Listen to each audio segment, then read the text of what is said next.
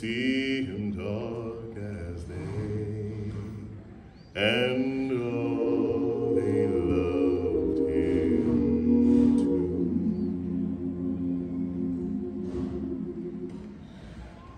The children